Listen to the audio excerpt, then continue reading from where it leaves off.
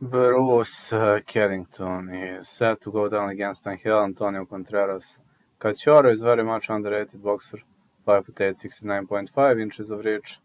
He lost to Aaron Almeida, Brandon Valdez, defeated Moises Jimenez, Darren Cunningham.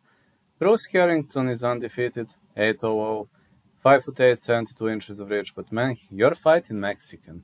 When you're fighting Mexican fighter, never say never. Mexican fighters are extremely dangerous, and uh, Bruce Carrington, he knocked out the majority of his opponents, but I don't see him knocking out this Mexican guy. Angel Antonio Contreras can take a beating. Bruce Carrington is a tough one, and I hope Bruce is gonna win, but it's gonna be hard. Believe Bruce decision could be my call. Like Antonio Contreras can really, really eat tons of shots, and uh, I believe he could. Uh, give his opponent a hard time, especially if the fight advances into the later rounds. But Bruce Carrington to win.